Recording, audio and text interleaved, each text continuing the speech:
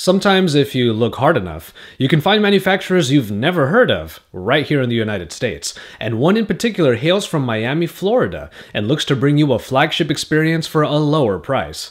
Hey, it's Joshua Vergara from Android Authority, and this is the BLU Life Pure XL.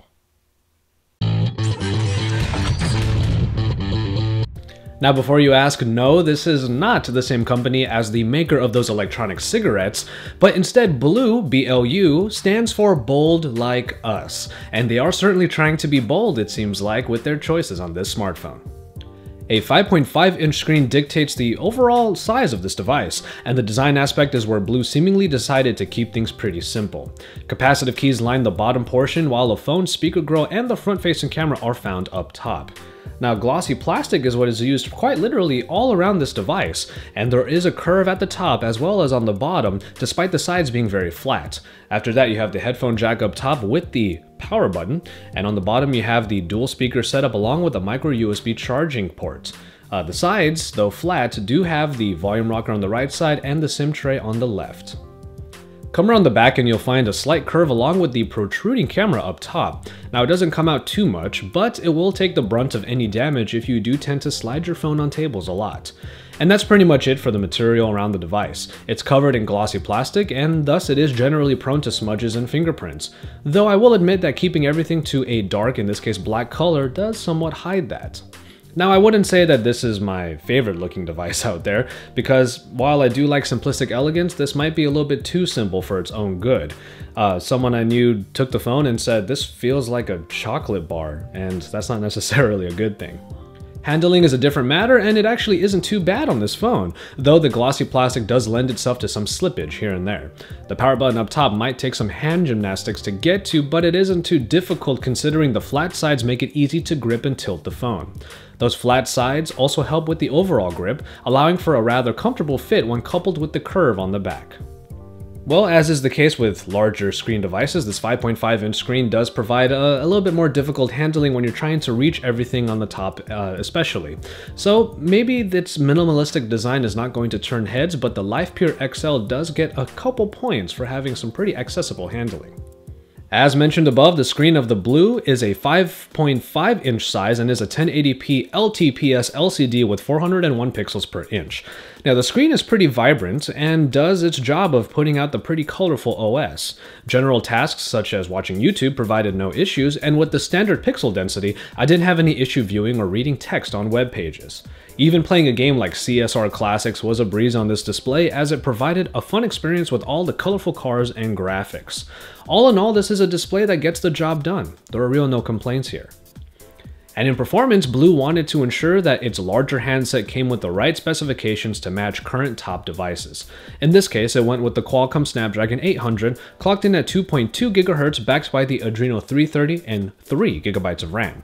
The RAM portion was a nice touch, giving this phone a bit of an edge despite having a processing package that is just one step behind the current bleeding edge. But that being said, the performance on this phone should be without question but I believe it is bogged down by some shoddy software work. Even if it's just in the way the animations were built, seeing slowdown and stutter and even the small portions of the operating system is pretty disheartening. The OS might be just trying to look fancy, but its overtures and flourishes sometimes get in the way of truly feeling like a fluid experience.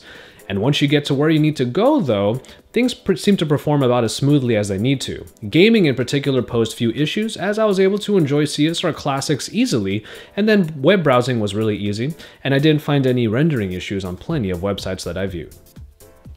All in all, the performance aspect has a just get the job done attitude on the Life Pure XL, and I did find as I continued to use this device that just getting the job done was generally the motif you would use to describe this device. And that does continue in hardware where there aren't really too many bells and whistles to talk about, but the Life Pure XL does come with everything you would expect from a higher tier device. Bluetooth, Wi-Fi, and of course NFC. Now, it's worth mentioning that this phone is not capable of connecting to LTE networks, so when it comes to your mobile internet, you'll be getting HSDPA instead. Call quality was pretty standard. Though I will say that while I sounded alright to the person on the other line, I felt the speaker volume on this phone could use a boost in both volume and in clarity. I could hear the other person just fine, but it doesn't sound as crisp as plenty of the other phones out there.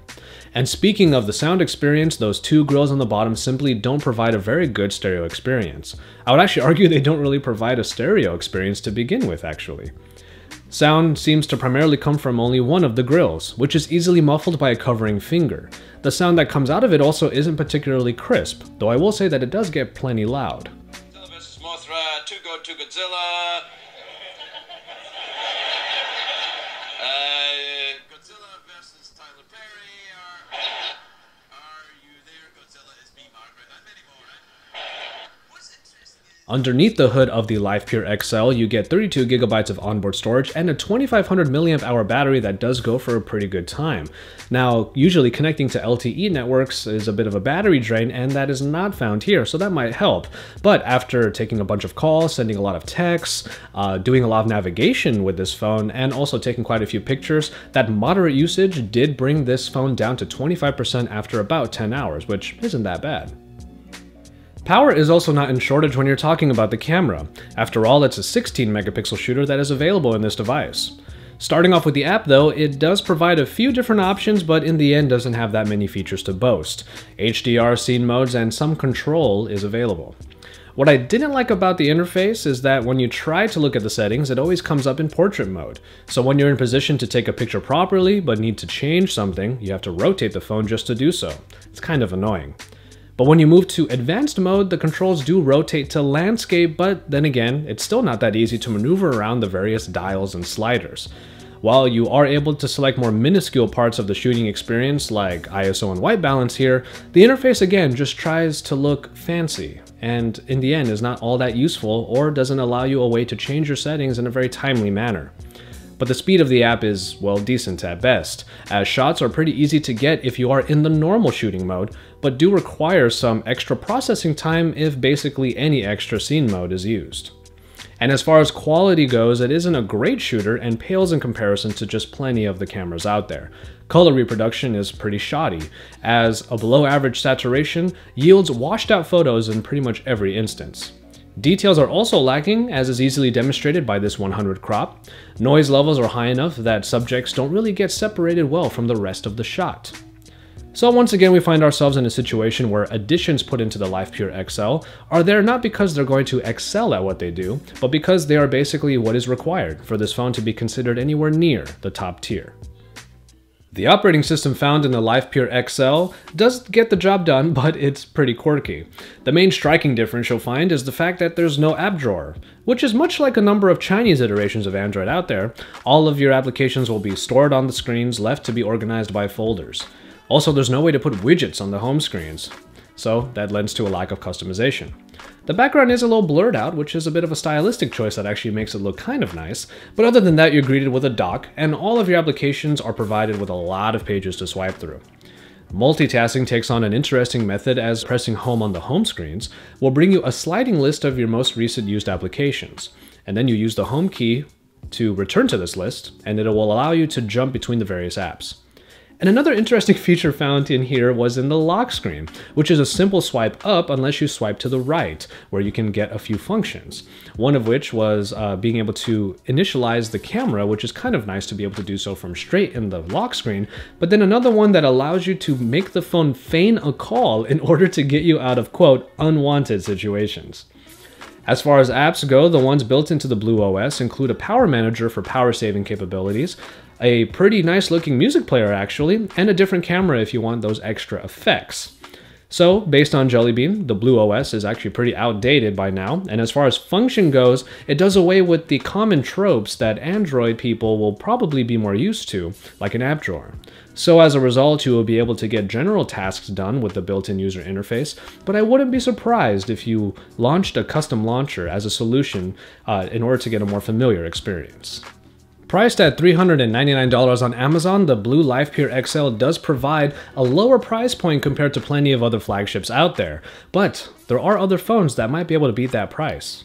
The main ones that come to mind are any flagship devices that came out last year, whose prices may have gone down by now, but they might not have come down as low as $399. The ones that do come at that price point include the Moto line, even though for lower prices you might be paying for a somewhat lower tiered experience comparatively, at least in the spec sheet. After that, you have, of course, the Nexus 5, which comes in at $349 at its base model and provides a very, very good experience with stock Android the way that we want it. And then after that, you have, of course, the OnePlus One, priced in at 299 at its base model, but it is still incredibly difficult to get your hands on today. So in the end, the Life Pure XL is a phone where you pretty much pay for what you get. And what you get in this phone is a device that just does exactly what it's supposed to do, but doesn't necessarily excel after that. And so, there you have it. At that price, it's really not that bad of a device by any means. It just is a phone that pretty accurately fits its retail value. While the power of the processor, the capable screen, and the only decent camera will provide enough for the average user, anyone else looking for even a little bit more than that will probably have their eyes set on other devices. At the very least, the Life Pure XL shows that lesser known manufacturers are definitely capable of providing comparable experiences to more well known devices.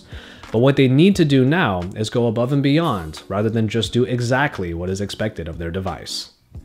As always, thank you guys very much for watching, and I hope you enjoyed this review of the BLU Life Pure XL. While there were some moments of enjoyment when I was using this device, unfortunately they paled in comparison to plenty of other devices that overall provide a richer experience. But at 399 it is a viable solution for any of you users out there who don't want to pay the premium for any of the other flagship devices out there. So keep it tuned to Android Authority for all of the best coverage, including coverage from my colleagues in Android, Joe, Jayce, Kevin the Tech Ninja, and Lanh. And also, remember to hit that like button, hit that subscribe button, and then hit up AndroidAuthority.com because we are, of course, your source for all things Android.